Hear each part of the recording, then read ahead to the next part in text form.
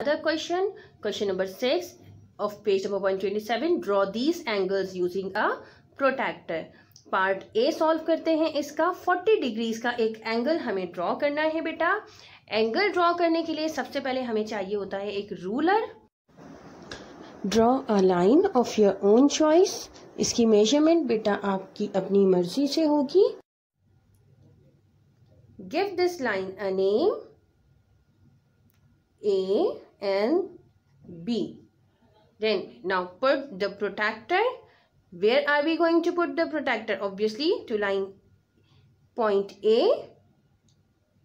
A पे हमने बेटा अपना प्रोटेक्टर रखा, ठीक है?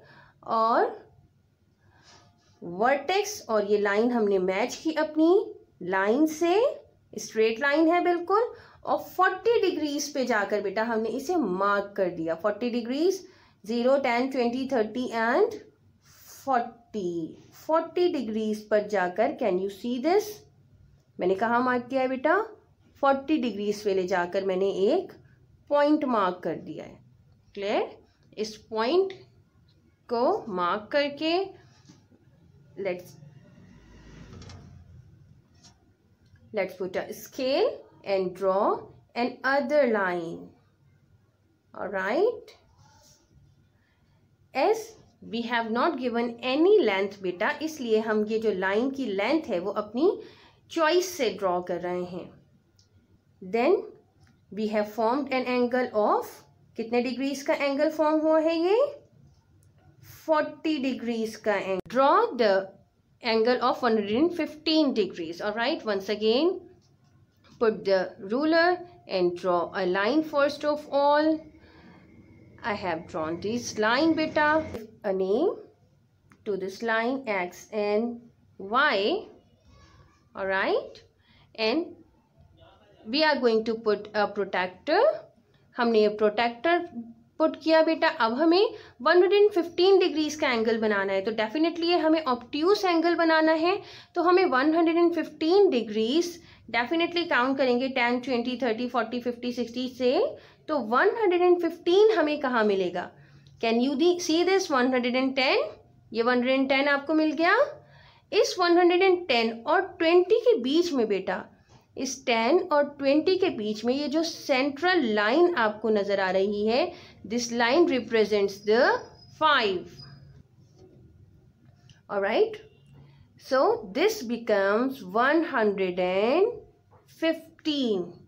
I put a point there, take out the protractor and draw a line with the vertex of x. So, is it now a obtuse angle? इस line को भी हमने बेटा नाम दे दिया इस लाइन को हम नाम दे देते हैं जी जेड हम डिग्री मेंशन करेंगे 115 degrees. Alright. Now, let's solve question number 8.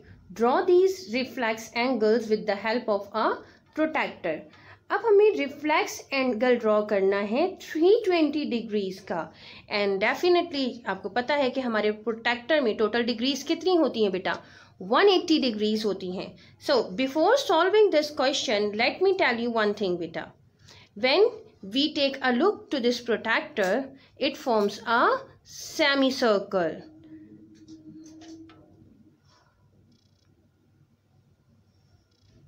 Alright. So, beta this semicircle, you know, has two right angles. बिल्कुल इसी तरह ये प्रोटेक्टर फॉर्म हुआ हुआ है can you see this now 90 degrees का एंगल ये है और 90 डिग्रीज का एंगल ये है 90 डिग्रीज का एंगल हम शो करते हैं। इस तरह 90 डिग्रीज 90 डिग्रीज। अब इसका हम एक कंप्लीट सर्कल फॉर्म करते हैं बेटा। किस तरह फॉर्म करते हैं? Let put this protractor like this and form a complete circle और right now once again it has 290 degrees angles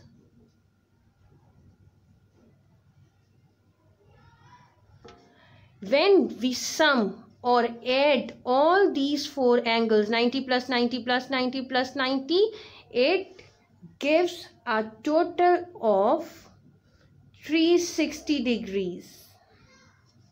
All right means a complete circle forms how many degrees? 360 degrees.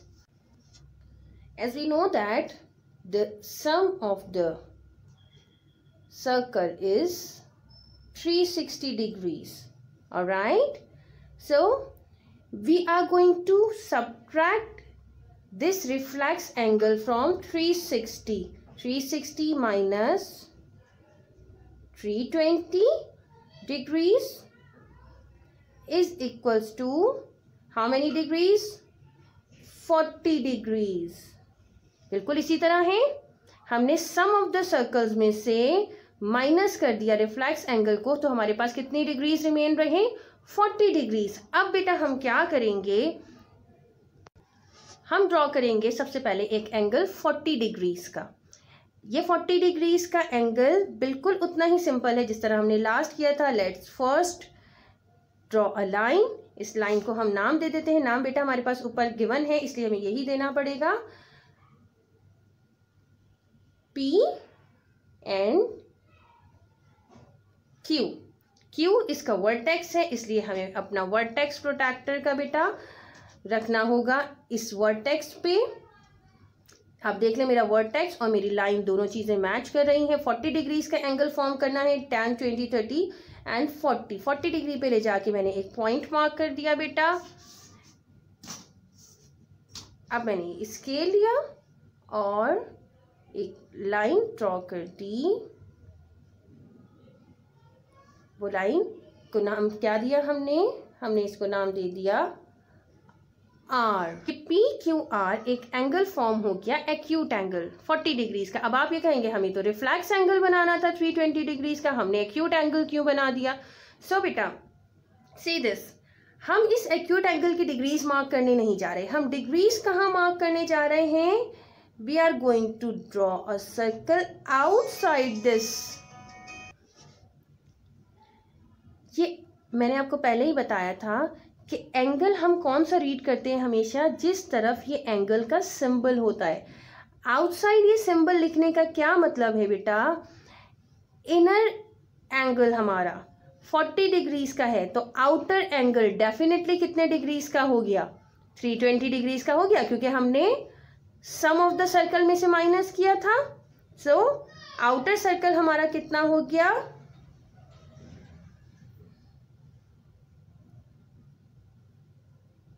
320 degrees जितने भी question इससे related solve करेंगे, आपको सबसे पहले वहाँ ये कैलकुलेशन शो करनी हो। Now you can easily solve your home assignment write the definition of acute angle obtuse right straight and reflex angles with diagrams with figures and do exercise seven A question number one is fill in the blanks and you can easily fill them with the help of this video. Then question number 4, question number 6 and 8. Question number 4 is only this simple measurement of the angles with the help of protractor. Then number 6 and 8 is already explained you in the video. Thank you so much. Goodbye.